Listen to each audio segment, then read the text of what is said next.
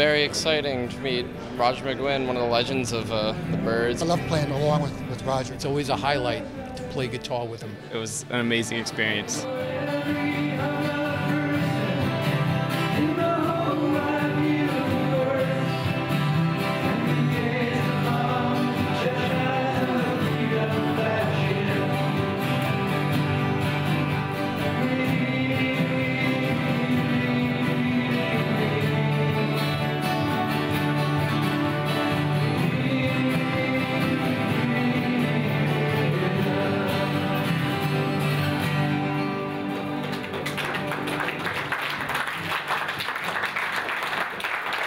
Record on Pro Tools, which is pretty much the industry standard right now. You've got faders and uh, different effects. Really, I, I think you can get probably the same results with this as you can in a professional recording studio.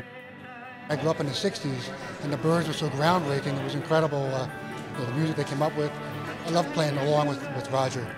How he showed his guitar, his finger picking, and uh, playing uh, that lead. Amazing, he's an amazing guitarist. Okay, uh, my wife tells me that some, some people don't know what the chords are. I need to, I'll show you the chords if you don't know. Everything, G, A, there's a C, D, G, A, and G, A. I thought it was awesome. It just relaxing environment. You just throw out things. He does whatever he wants, and it's it was it was great. It's a unique experience, very special type, you know, thing that you don't get to see in other places. I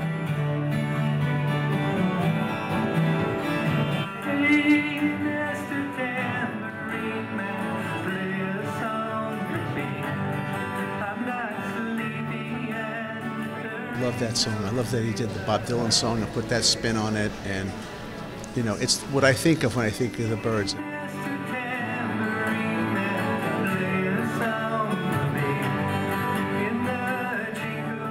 That's what started it all in 1965, especially with the 12 string guitar. 12 string guitar opened up a whole new world for us musicians.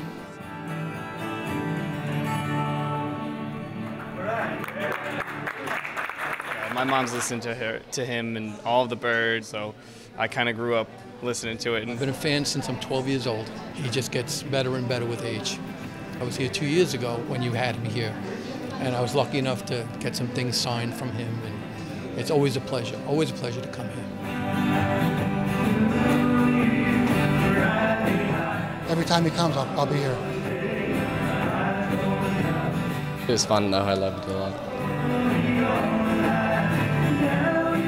thank you to Monmouth University for setting the whole thing up.